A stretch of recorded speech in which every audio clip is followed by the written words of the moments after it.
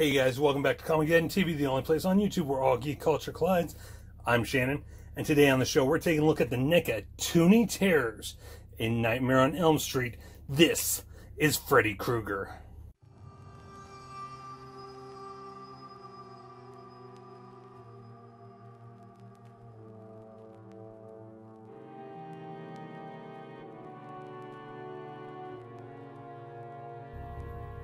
So, real quick, this is for ages 17 and up. Uh, warning choking hazard. As you can see, it's got the movie studio um, theater background there. Freddy Krueger on the sign. And on the back, there's the boiler room. It's supposed to be a cutout backdrop. I'm not going to cut it out, but whatever. So now let's go ahead and open them up. As you can see, my box did get a little crushed in transit, but oh well. I'm going to take them out of the package anyway. So let's go ahead and rip into it. So here he is, guys. Fred Krueger, Freddy Krueger from A Nightmare on Elm Street, done in the style of the old Hanna-Barbera filmations. Um, well,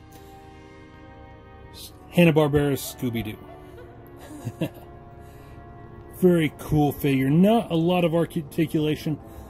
He does come with a display stand, but you almost have to force the pegs into the bottom of his feet. Uh, the pegs are way too big. Not way too big, just slightly too big for the bottom of his feet. Um, a good display figure. He's going to go along well with my other collectibles. Uh, I did manage to get him and Jason Voorhees, which we'll be taking a look at next time. But let's go over his articulation real quick. His arms do go up and down all almost all the way around. As you can see, you can have him just like that, kind of holding his bladed hand, his glove. Um, this arm does go all the way around see, does his hat come off? No.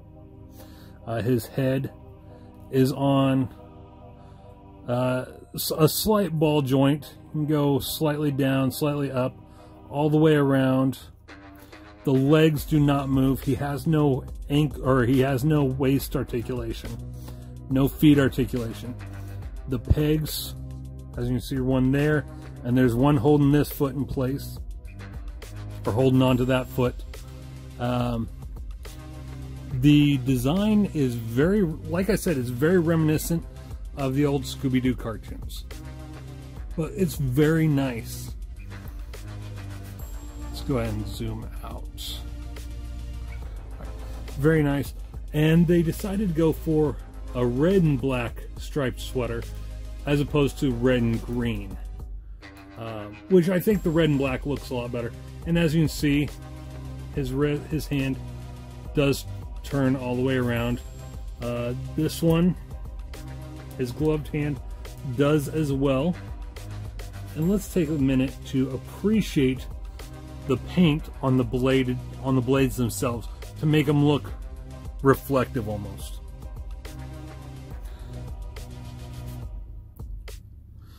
Let's see, how do I want to display this guy? Hmm.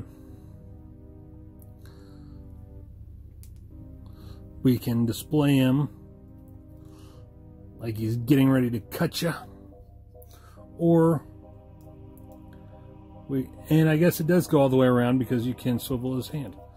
Um, we can display him kind of like the rebooted Freddy Krueger where he's flicking his blades.